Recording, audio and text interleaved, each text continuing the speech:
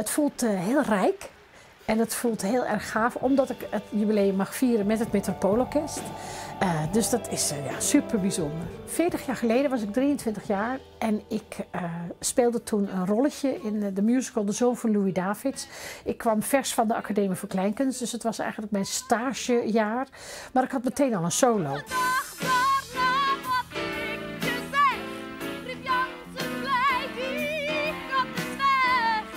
Kreeg meteen ook recensies in de kranten met een nieuw talent aan het theaterfirmament. Dus ik was ook echt, uh, oké. Okay.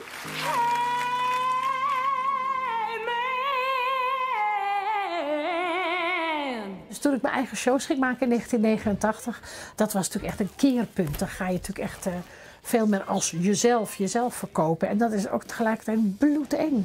Schrijf aan iedereen, je moet je eigen weg bepalen.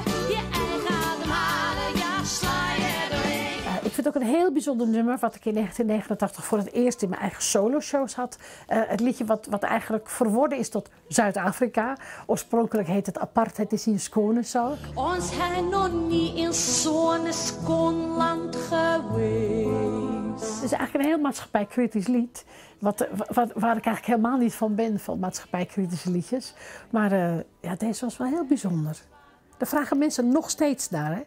En dan zijn we 34 jaar verder. Dat is echt bizar. Ons genoot, ons vier al die dagen feest. Dieptepunt.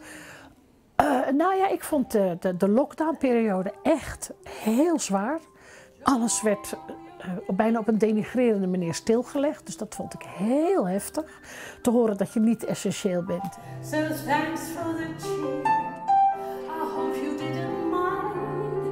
Ik eh, wil heel graag doorgaan, niet zodat ik omval, dat zou gek zijn. Ik, hoop dat er ergens ooit een goede vriend of vriendin is die zegt, nou Karin, dat is wel genoeg hè. Maar zolang het mij vreugde geeft en zolang het publiek vreugde geeft, want, daar gaat het natuurlijk toch om, eh, dan blijf ik het toch wel even doen. Ik vind het toch wel heel leuk.